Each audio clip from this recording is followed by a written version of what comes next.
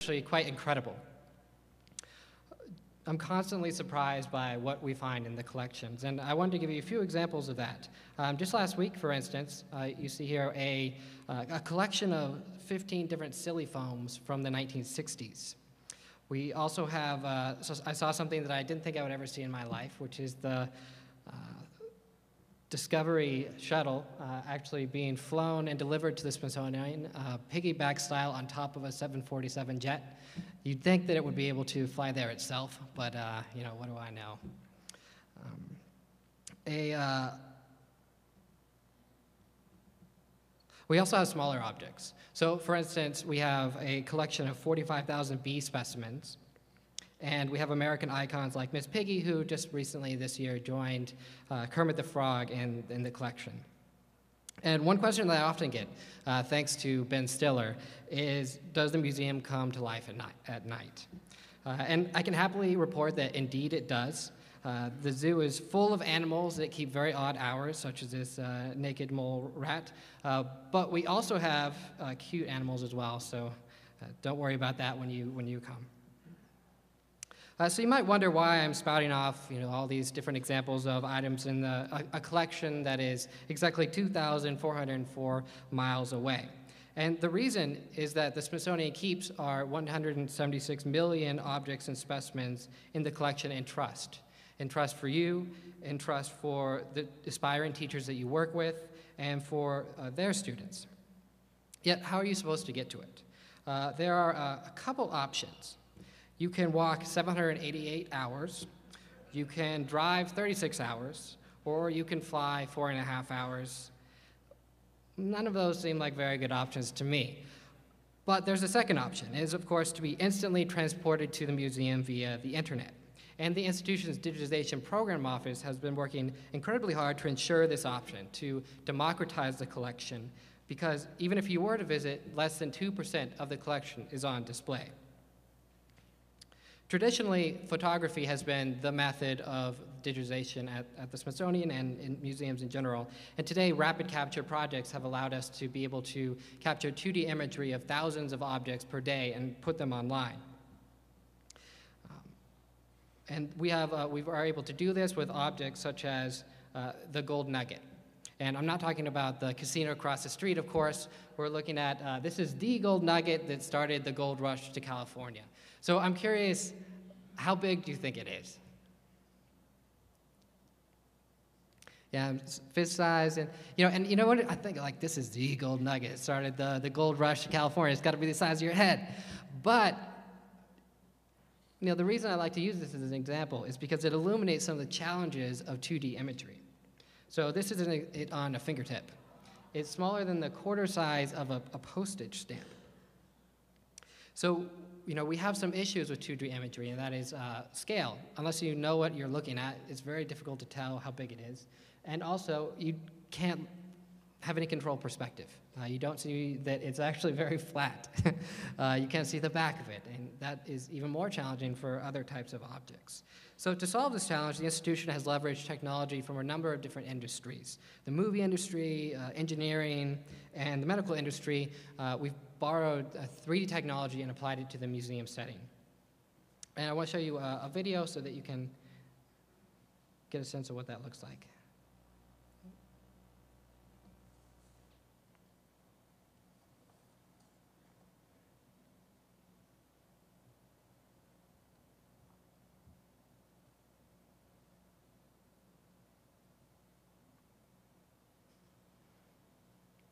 The button is much smaller than the gold nugget right on this computer.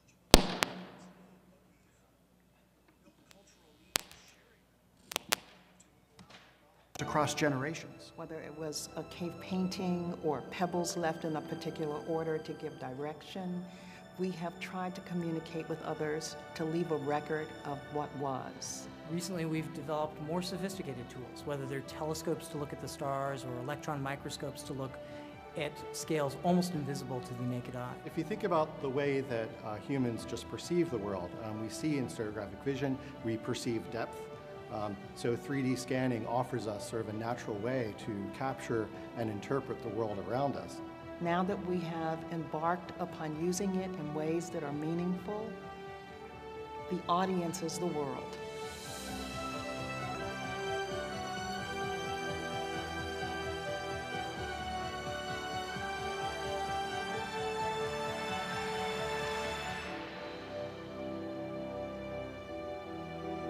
In the museum world, in simplest terms, is measurement. Um, instead of point-to-point measurement like you do with a tape measure or with a pair of calipers, we're taking thousands, millions, or billions of measurements that describe the geometry of an object. 3D technology really affords us the opportunity to see an object from all angles, to tell the entire story of an object, front, back, bottom, top. You can create still renders from that uh, 3D model. You can create video renders. You can even take the geometry and replicate it in physical form using 3D printing technologies or other rapid manufacturing techniques. We've scanned things as small as a euglossine bee using micro CT scanning technology. Um, and we've also scanned entire archaeological sites in Chile, Indonesia. You can also use X-ray telescopes that can document objects in deep space at an incredibly vast cosmic scale. Of course, most of the Smithsonian collection lies somewhere in between, and that's what we do most of the time. But 3D technology can be defined very broadly, and what you can capture um, surprises us all the time. We want to make sure that any technology we bring in is in service of our mission. So what we've done is we've partnered up with our curators, with researchers, with educators, with conservators, and we've put that technology at their service and we've said, how does this actually further your day-to-day work? And we've created an amazing array of use cases that actually showcase that in all these areas, 3D makes a tremendous impact and can allow people to do more of the things they're already striving to do. We're seeing 3D impacting many different areas of the museum world, whether that be exhibits, research, conservation. 3D right now is enabling us to travel objects in a safer way. Um, we're providing educators with new access tools using our 3D viewer, and we're supporting research by providing very accurate measurable data um, to Smithsonian scientists. 3D is a game changer for museums. I think being able to connect to 3D representations of objects helps us share outside of our walls, outside of Washington, outside of the East Coast, outside of the US, to everyone, everywhere. In the instance of the Cosmic Buddha that I'm working on right now, it's really helping me at this kind of uh, surface level. You're seeing much more than you could ever see uh, yourself. 3D is much less intrusive than other methods that we've used in the past because you don't actually have to manipulate and touch and hold the object. This allows us to get static objects or even whole field sites scanned, documented, archived. It's all about capturing that moment in research time. One of the things that really fuels our work is, is the people that we work with. They all bring new ideas to the table every day, and we get to help their vision come to life. These are some of the core functions of the Smithsonian, and we can already see how those might undergo a very profound change given this new technology. Oh my gosh, 3D technology. It will help us in ways we don't even understand yet. It seems like every day, every week, we get a call about a new type of project that explores new possibilities and unlocks new potential. And we're super excited about what we'll be able to do with it as the technology develops in three years and five years in 10 years. We've just scratched the surface in applications of 3D technologies. It's about learning what this, this new type of data means to the world, not just telling the world what it means. People will come up with great ideas, they will share them in their social media, and then other people will build on those ideas. The more we can see, the more we can know, the better questions we can ask and answer, and the more things we can solve. How do we scale this up So we can not just do a dozen, so we can do hundreds, thousands, tens of thousands, hundreds of thousands of objects in a meaningful period of time. We need partners to help us do this. People will have an expectation of seeing objects in 3D. It will be ubiquitous. Everyone will know that this is a technology that they can use and use effectively. That's incredibly exciting, and that's going to change the way museums work. That's going to change the way researchers do their research, and it's going to change the way that educators can deliver uh, content to the world.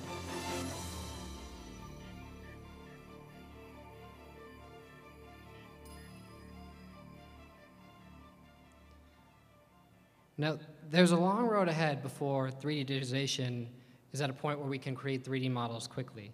And I'm excited to be here today because we are so early in the process. You're pedagogical experts with a vast array of content area backgrounds. And I'd like to be able to appeal to your expertise to discover how we not only use 3D digitization to democratize access to the collections, but to use 3D objects to bring powerful learning experiences to life. Uh, and this is for students and also in teacher education. I began thinking about this issue uh, through an ebook that we were working on, this activity-based for classrooms.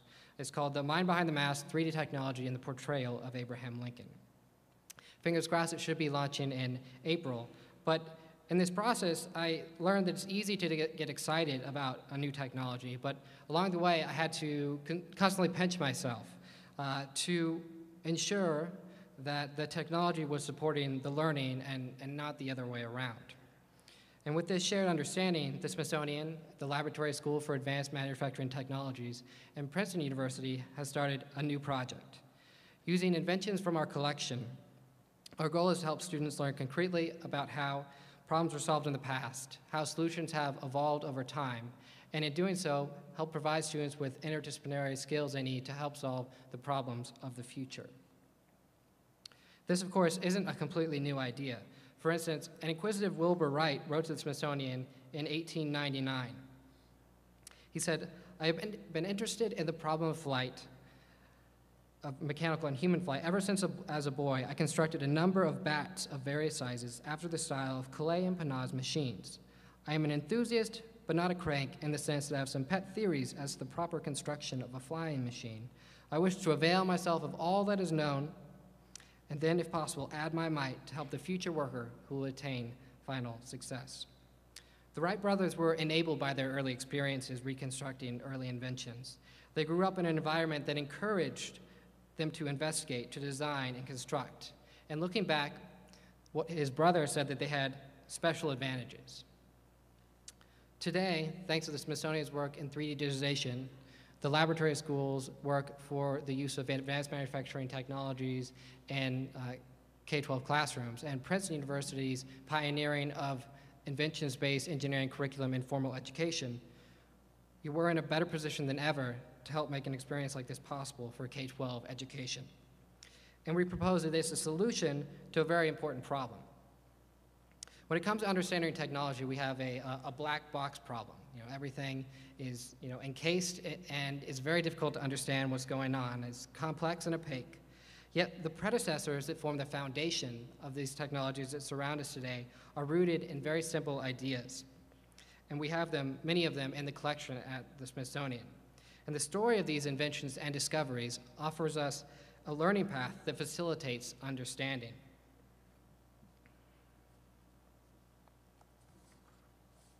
Now, we start the story in 1800 with the invention of a, a battery, uh, which could provide electricity to a circuit.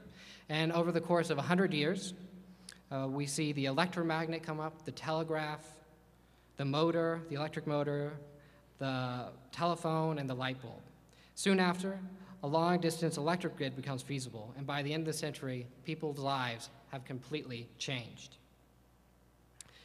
The inventions behind this story are simple and transparent, yet they're great engineering. They can be readily deconstructed and understood through the process of reverse engineering. And in a proof of concept with middle school students uh, at the lab school, they designed and fabricated a working reinterpretation of the Morse Vail telegraph uh, key and relay and the page motor. They even were able to run a line between uh, their middle school and the elementary school across the street and, and send some messages back and forth. And today, for the first time, I'm, we're going to be unveiling uh, the first 3D scan of an invention uh, from the Smithsonian for this project.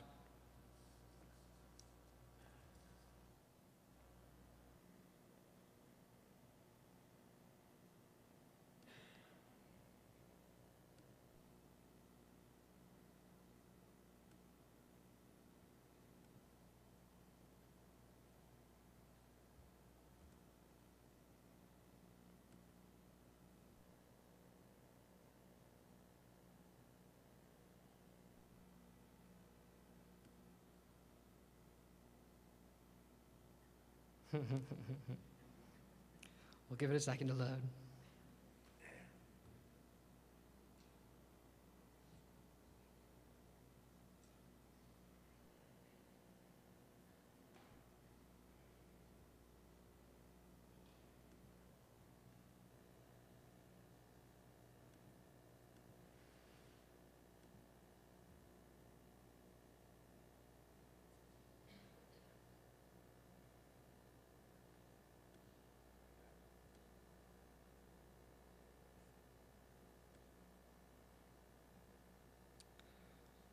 So this is the page motor. It was created by Charles Page, a man who was interested in the idea of being able to do work with electricity. It's located in the Smithsonian X3D Explorer, where we have tour functionality that will allow us to take students through this invention to really show them how it functions. It also has storytelling functionality to allow us to show some important primary sources as well, such as the patent that Page filed.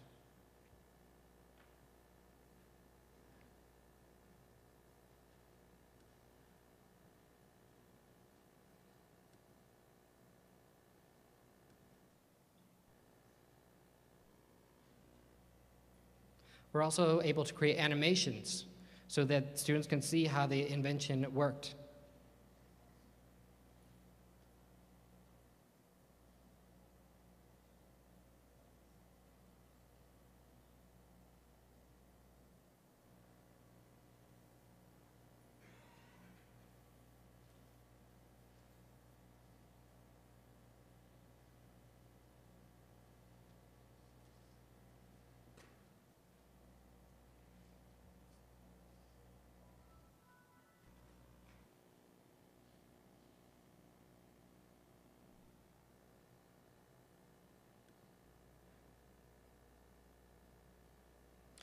We were also able to build a CAD model so that not only are you able to look at the outside geometry of the object, be able to see it working through an animation, but also be able to take cross sections so you can see it on the inside to see the interior components that make it function.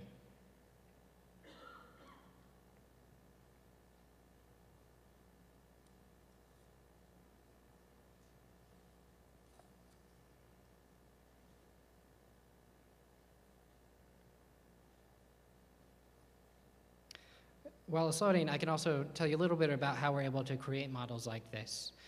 So we use laser scanning technology, which is actually quite interesting because essentially how it works is you have a, a laser scanner that emits uh, a laser onto an object. And the laser light bounces back. So imagine if you are looking in a mirror and shine a light in it, the light bounces right back. Um, this is exactly how a laser scanner works, except the laser scanner has sensors built into it so it can figure out exactly how long it takes for that laser to hit the object and reflect back. And that measurement uh, equates to a, an amount of time that that took to happen, which in turn is able to turn into an XYZ coordinate because the object, uh, the scanner knows where it is in position to the object. So once you have millions of XYZ coordinates, you build the geometry of the object.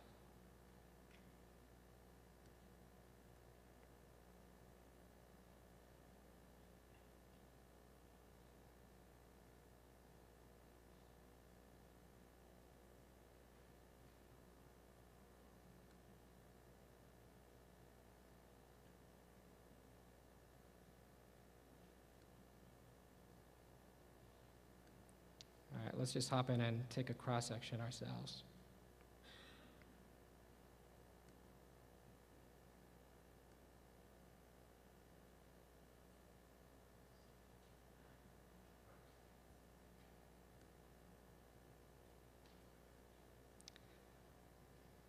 So you can kind of see how the, the coils here, when we put the model up yesterday, so we'll make a few tweaks on it, but uh, you'll be able to see the, the coiling on, of the wires and the electromagnets.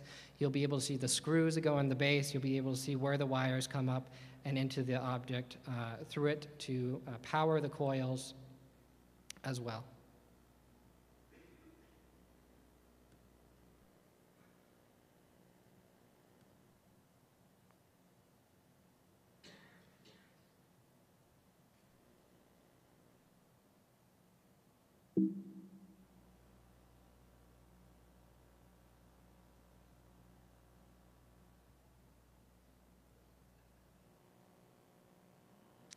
So now that you've seen the, the page motor, we'd like to give you a sneak peek at what the invention kits look like.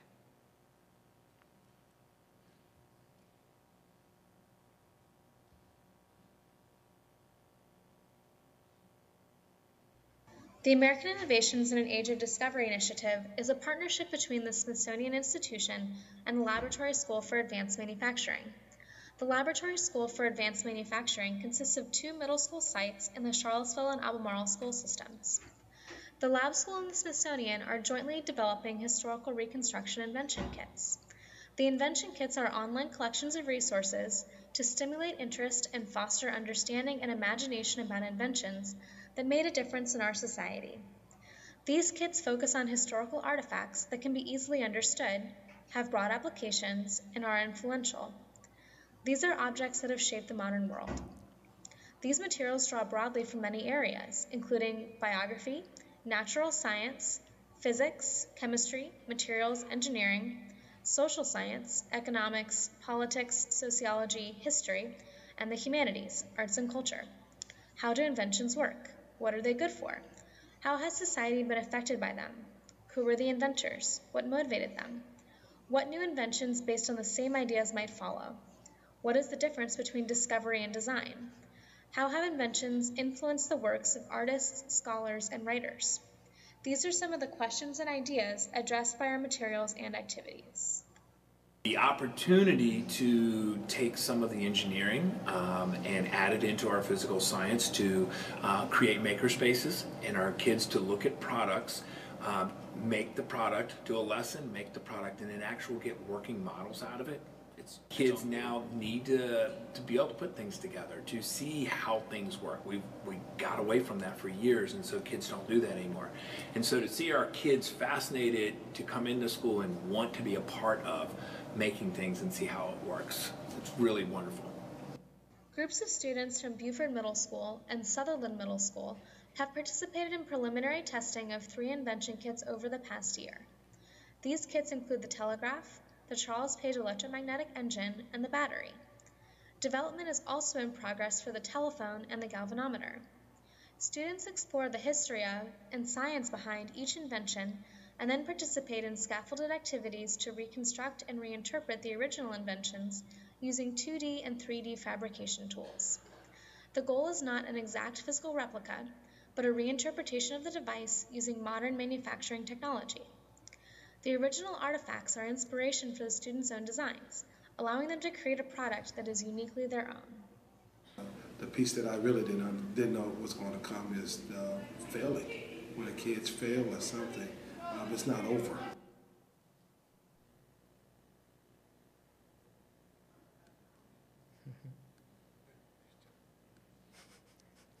yeah, Johnny, got something coming up.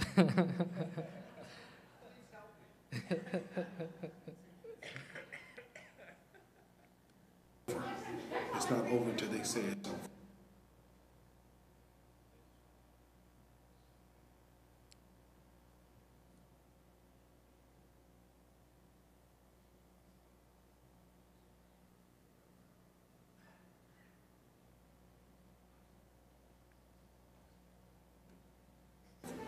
And so being able to get back on the horse and try it again and try something different than what you tried.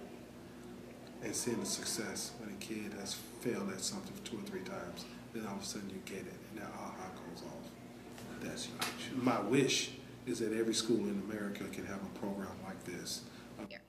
This type of collaborative reinvention is the point of the American Innovations in an Age of Discovery project to encourage the interleaving of engineering and scientific thinking as students approach inventions of the past and consider how those inventions influence their time period and echo in ours today.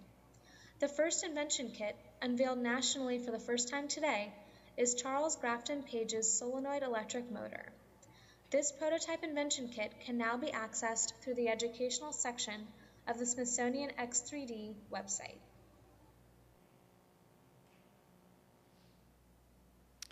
I'm extremely pleased to say that Rick and Eric, the two principals at the lab schools in the, the video, are in the audience today. Uh, they came to Las Vegas so that they could answer your questions and be able to get input as pedagogical experts. Um, Rick, Eric, can you uh, stand up or raise your hand for us? Thank you again for coming today. Now, as Eric alluded to, we want to be able to bring these invention kits to everybody. We'll be putting them online for free in the Smithsonian X3D website, and each invention kit will be scaffolded such that students will be able to create the inventions with hand tools that were available at, during the time period, as well as more advanced manufacturing technologies ranging from inexpensive die cutters to 3D printers to laser cutters.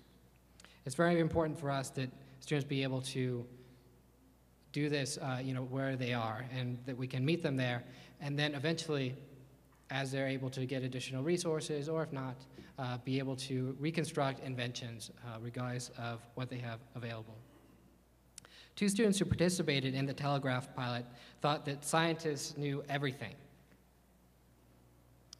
Now, it fascinated them as they were constructing the Vail Morse telegraph and reading the original journals from Vail that they ran into some of the very same problems that he did it was able to help them really get over this idea that scientists are these, you know, people who know everything and that it's, there's no grit required in recreating inventions uh, or in, you know, creating something new.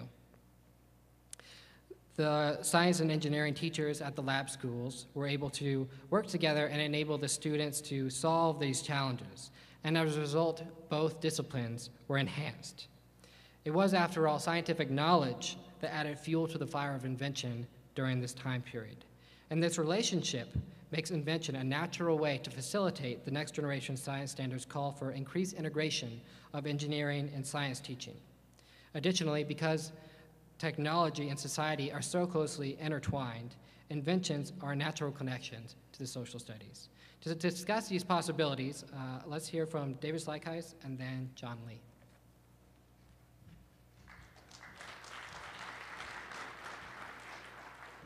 Thank you, Matt. All right, so a good question is how do we take these really cool inventions and how do we place those really within the science context and what we are doing? So, if you think about right now, we recently come out in the last two years are these next generation science standards. The next generation science standards have worked to infuse this idea of engineering into the science curriculum.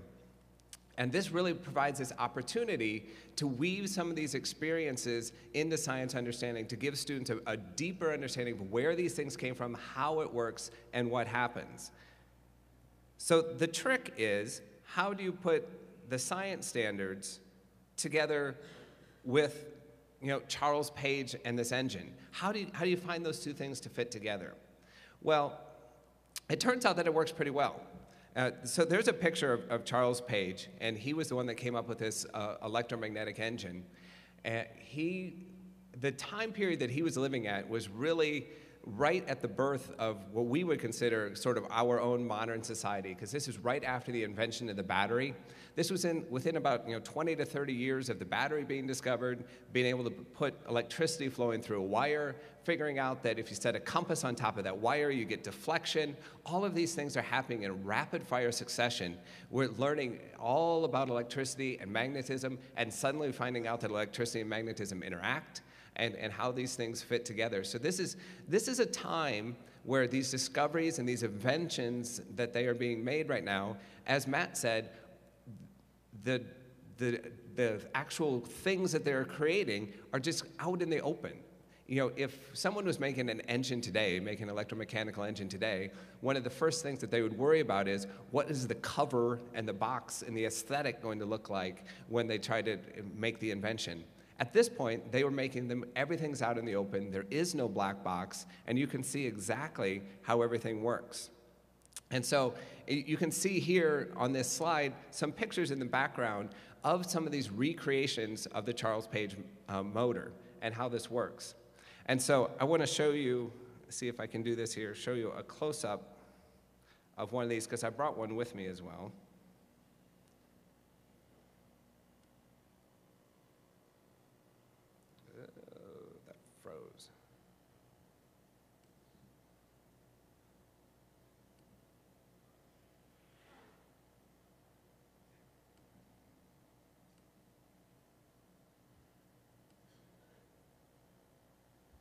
That's not what I want.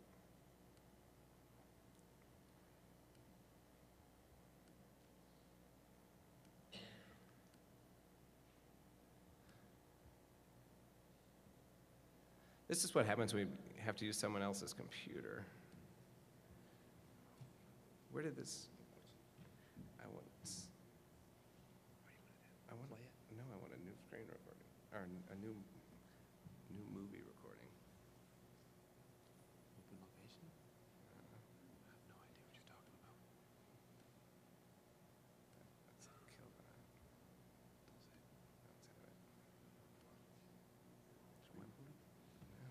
Why is it not showing up?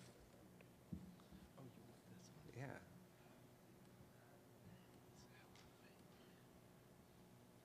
Hold on. There it is. There. All right.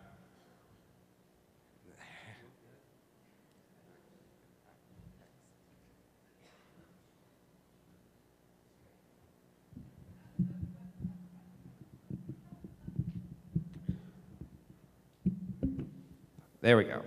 Okay, so here is the motor. See if I can, I can get this on screen here a little bit.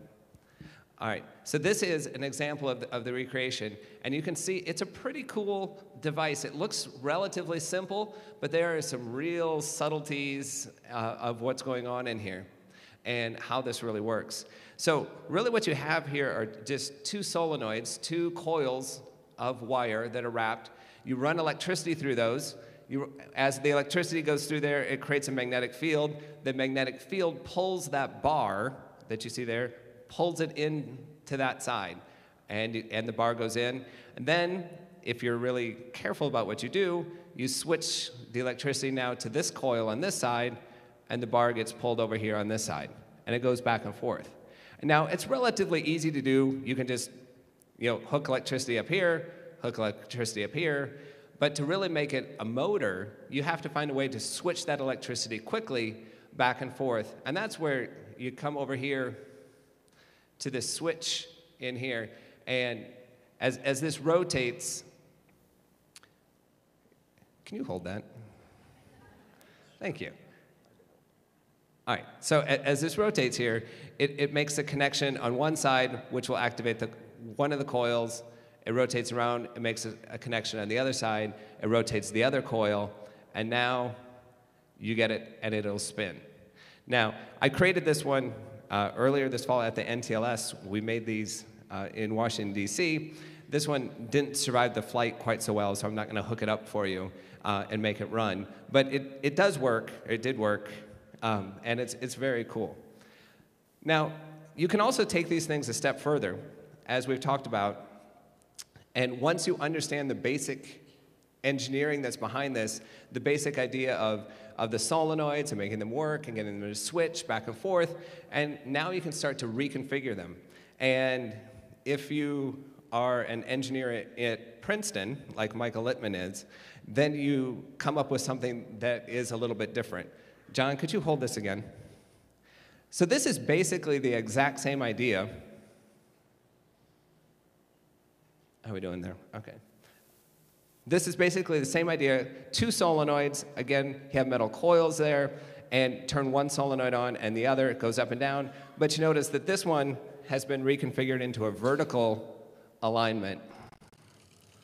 That bridges across the humanities into science and technology, engineering and math. Abraham Lincoln was a tinkerer, as we all know, the only president to hold a patent, an inventor. Uh, he saw things that other people didn't see, which is what made him so great. And one of the things that he saw was the potential of the telegraph that had just been created in his adult life. It was not widely adopted. Uh, really, the only users of the telegraph, other than the scientists that were working on it in the 1850s, were the financial industry, um, exchanging information that would give them an advantage in selling uh, equities. Lincoln saw the value in it and uh, began to actively use the telegraph as a war president um, and used it to his advantage in managing the war. And so, you know, what happens here is we have this really interesting intersection of history and science and technology. And so that has uh, provided me with a context to kind of move into this project and to think about the ways that we can use primary sources and students' inquiry, their engagement with those sources, um, that results from their inquiry in, on, uh, about questions that are compelling and have an interesting nature to them on topics that are being worked on in these invention kits. Okay, so we're in the process of developing those, and we might have, let's see, back out. So we're in the process of developing those, and I have a few questions that I want to pose to you. These are sample questions that we're thinking about. So the idea here is that when we develop an inquiry, we begin with a question in our C3 framework standards document, whoops, not standards, framework document, uh, what we say is that inquiry begins with a compelling question. Compelling questions have a, a kind of a two-part characteristic to it. They are relevant, so that means they're interesting to students. Students can see something that is of value to them in it. They can recognize themselves in the question. And the questions are rigorous. So that means people that are in the academic disciplines would recognize the question as well. It turns out that's really hard to do, to write a question that is relevant to children and is rigorous. It's recognizable to a 12-year-old and it's recognizable to a historian or to a scientist. Here's some of the questions that we've come up with so far. I just want to give these to you to see what you think of them.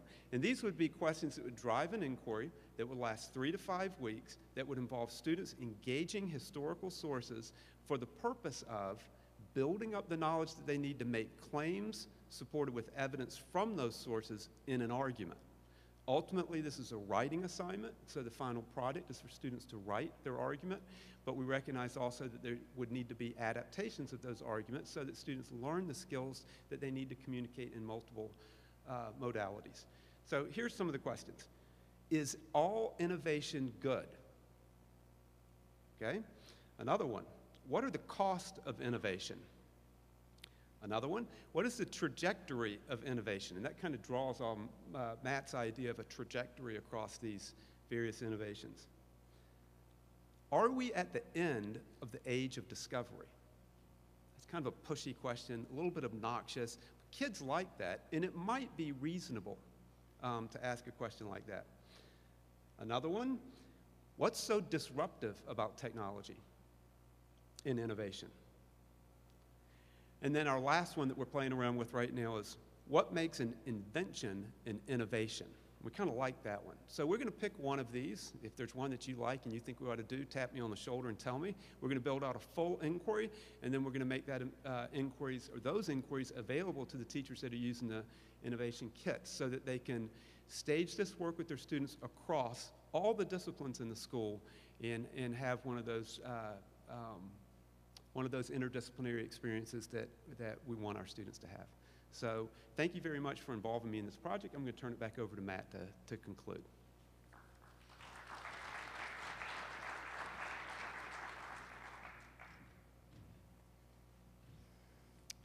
We're excited about the possibilities of the invention kits and have had some initial successes.